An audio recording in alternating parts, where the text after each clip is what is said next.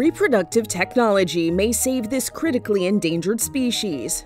There are now just two northern white rhinos in the world. Both live in the Ol Pejeta Conservancy in Kenya. They're kept safe from poachers who want their valuable horns by armed guards who are with them 24 hours per day. The last male northern white rhino died in 2018, leaving two females, Fatu and Najin, without a way to reproduce naturally. That's where science steps in. In vitro fertilization and stem cell technology that have been widely used in humans are now being tested on rhinoceros.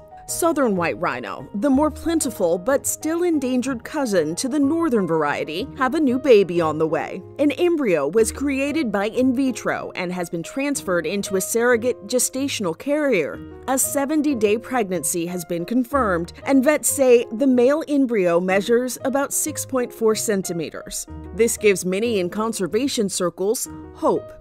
BioRescue Project, an organization focused on saving threatened species, said the successful embryo transfer and pregnancy are proof of concept and allow to now safely move to the transfer of northern white rhino embryos, a cornerstone in the mission to save the northern white rhino from extinction. Scientists say they are racing against time to save the northern white rhino.